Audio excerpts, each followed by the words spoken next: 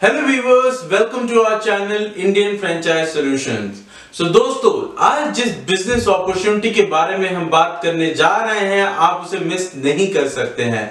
तो वीडियो के अंत तक आप ज़रूर बने रहिएगा ताकि आपको पूरी जानकारी मिल सके और Indian franchise solutions YouTube channel को सब्सक्राइब करना ना भूलें। सो so, दोस्तों हमारे जो पुराने व्यूअर्स हैं जो हमारे पुराने सब्सक्राइबर्स हैं उन्होंने एक वीडियो ज़रूर देखा होगा। क्विक ऑटो सर्विसेज़ के बारे में।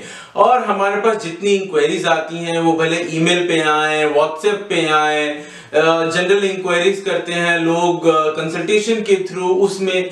तो सब लोग जो है वो एक सवाल ज़रूर पूछते हैं कि भैया क्विक ऑटो सर्विसेज़ की कितनी आउटलेट्स हैं और किस किस लोकेशन पे है। सो so, दोस्तों इस वीडियो में जो है मैं स्पेशली इस सवाल को ज़रूर कवर करूँगा।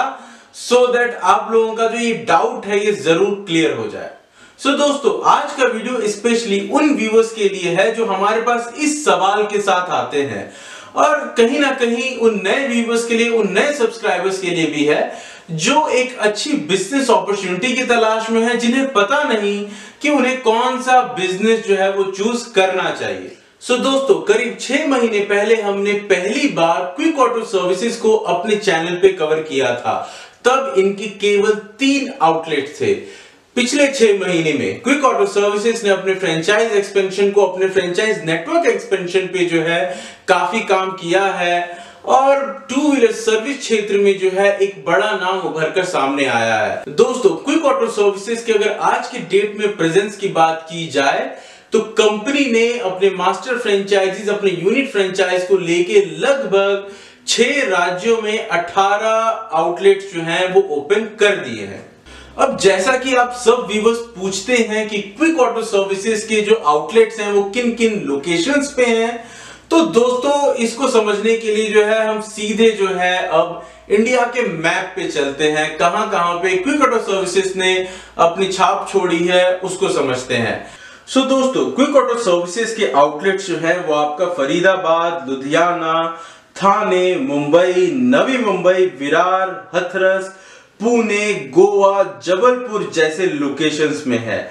सो so, अब देखा जाए तो नॉर्थ से लेकर साउथ और ईस्ट से लेकर वेस्ट इंडिया तक में इनकी फ्रेंचाइजीज हैं। और बहुत सारे ऐसे आउटलेट्स हैं जो आने वाले एक से दो महीने में जो है वो ओपन होने वाले हैं। सो so, दोस्तों जैसा आप इन वीडियोस में देख सकते हो ये सारे के सारे जो आउटलेट्स आपको दिख रहे हैं ये इन्हीं में से किसी ना किसी आउटलेट का आपका ओपनिंग का जब सेरेमनी होती है ओपनिंग सेरेमनी होती है ये उसी के वीडियोस हैं। तो ये सारे जो है आपके रेफरेंस के लिए हैं सो so दैट आपको पता चल सके कि क्विक ऑटो सर्विसेज़ का प्रेजेंस कहाँ कहाँ पे है, कैसा उनका इंफ्रास्ट्रक्चर है, ये सारी चीज़ें जो है आपके नॉलेज के लिए मैं यहाँ पे डाल रहा हूँ। अब हम आगे बढ़ते हैं और इसके बारे में बात करते हैं कि जो नए व्यूवर्स हैं जिन्होंने अभी तक क्विक ऑटो सर्विसेज़ फ्रेंचाइज के बारे में नहीं सुना या क्या बिज़नेस कॉन्सेप्ट है उनको ये नहीं पता है तो बड़े ही कम शब्दों में बड़े ही सरल शब्दों में उनको मैं थोड़ा सा एक्सप्लेन करना चाहूँगा। सो so, दोस्तों क्विक ऑटो सर्विसेज़ जो है वो two wheeler multi brand service franchise offer करता है? यानी किसी भी ब्रांड का टू व्हीलर हो वो वहाँ पे सर्विस किया जाता है। अब इसमें जो है आपके मोटरसाइकिल्स भी हो सकते हैं आपके स्कूटर्स भी हो सकते हैं और अब तो आपके इलेक्ट्रिक जो स्कूटर्स या इलेक्ट्रिक बाइक्स आ रही हैं वो भी इसमें सर्विस की जाती हैं। सो so, दोस्तों चलिए अब आगे बढ़ते और समझते हैं कि आपको two wheeler service franchise business ही क्यों करना चाहिए। दोस्तों, आज की डेट में बड़े से बड़ा जो न्यू बाइक डीलरशिप जो है, वो पैसे नहीं बना रहा है। वो अपना बिज़नेस जो है, वो कहीं ना कहीं घाटे में या ना तो नो गेन नो लॉस जैसे मोड में चला रहा है। इसके पीछे अगर हम देखें तो चार पाँच मुख्य कारण है। जैसे कि आपका हाई मेंटेनेंस कॉस्ट तो देखिए दोस्तों, इतने सारे इन्वेंट्रीज को जब आप एक जगह पे होल्ड करते हो तो उसका देख रेख में, उसके साफ़ सफ़ाई में भी जो है आपको बहुत खर्च करना होता है। दूसरा, आप मान के चलिए कि हाई मार्केटिंग कॉस्ट जब इतनी सारी इन्वेंट्री आपके पास पड़ी रहती है तो बहुत सारा पैसा जो है डीलर ऑलरेडी उन इन्वेंट्रीज पे लगा के रखता है और ऐसे में उसका पैसा ब्लॉक हो जाता है। तो उसको लिक्विडेट करने के लिए जो है, वो जितनी अच्छी मार्केटिंग हो सके, वो जितने अच्छे ऑफर्स दे सके, वो अपने एंड से ट्राई करता है और ऐसे में जो है अगेन इसका प्रेशर भी जो है, वो अगेन डीलर को ही आता है और कहीं ना कहीं उसके जो ओवरऑल मार्जिन होते हैं, उस पर इसका इंपैक्ट देखने को मिलता है। तीसरा दोस्तों, मैं कहूँगा कि लोअर मार्जिन तो आज की डेट में अगर किसी भी वो आपका बाइक का शोरूम हो, आपका लेट्स से इलेक्ट्रिक बाइक का भी शोरूम है तो उस पर 10-12 परसेंट से ज़्यादा का मार्जिन नहीं रहता। तो जब आपका मेंटेनेंस कॉस्ट बढ़ता है, जब आपका मार्केटिंग कॉस्ट बढ़ता है तो ऐसे में आपकी जो प्रॉफिटेबिलिटी है, वो एनी एनीवेज 10-12 परसेंट की है, वो और जो है थोड़ा सफ़र करती है, वो और अंडर प्रेशर में आ जाती है। अब दोस्तों, इसके पीछे अगर एक और रीजन में कहीं ना कहीं देखूँ तो हाई इन्वेस्टमेंट तो जितना आप इसमें इन्वेस्ट करते हो, उतना ज़्यादा आपको इसमें रिटर्न नहीं आता। और कहीं ना कहीं इसमें कोई रेकरिंग इनकम नहीं है। तो जैसे मान लीजिए कि अगर आप एक बार बाइक बेचते हो तो जो एक रेकरिंग मॉडल बचता है डीलरशिप के बाद वो अगेन सर्विस का बचता है। उसमें से 95 परसेंट लोग जो हैं, वो अगेन बाइक डीलरशिप पे नहीं आते सर्विस के लिए। जब तक उनके पास फ्री सर्विसेज़ अवेलेबल रहती हैं, तब तक वो आते हैं और उसके बाद नहीं आते। तो ऐसे में जो आपका multi brand two wheeler service franchise जैसे कॉन्सेप्ट हैं वो बड़े ही अच्छे चल रहे हैं। और आप किसी भी पिन कोड में आज की डेट में कंपेयर कर लीजिए तो लाखों लाखों बाइक्स जो है आपको एक एक पिन कोड पे मिलती हैं और वहाँ पे सर्विस की बहुत बड़ी डिमांड है। सो so, दोस्तों चलिए अब आगे बढ़ते हुए समझते हैं कि क्विक ऑटो सर्विस फ्रेंचाइज अगर आप स्टार्ट करते हो तो इसमें आपको क्या बेनिफिट्स मिलते हैं। सो देखिए दोस्तों, जैसा इनके नाम में ही है मल्टी ब्रांड सर्विस फ्रेंचाइज तो यहाँ पे आप किसी भी ब्रांड का टू व्हीलर सर्विस कर सकते हो। आपके एम्प्लॉयज़ के पास वो रिलेवेंट एक्सपीरियंस रहता है ट्रेनिंग रहती है, उनको स्किल रहता है कि वो उसकी सर्विसिंग या रिपेयर कर सकें। तो ये एक बहुत बड़ा प्लस है। दूसरा होता है आपका रेकरिंग इनकम तो सर्विस जो है, वो आपका एक रेकरिंग इनकम कॉन्सेप्ट या मॉडल आप कह सकते हो। क्योंकि एक कस्टमर जो है, वो साल में दो से तीन बार सर्विस ज़रूर कराता है और उसको बार बार सर्विस कराना ही है। तो यदि अगर आप उसे अच्छी सर्विस प्रोवाइड करते हो तो वो कस्टमर आपके पास बना रहता है और आप लॉन्ग रन में जो है, उससे काफ़ी अच्छे पैसे बनाते हो। अब एक और चीज़ दोस्तों, यहाँ पे जो आपकी प्रॉफिटेबिलिटी को बूस्ट करता है, वो है आपका स्पेयर पार्ट्स पे जो आप इनकम बनाते हो।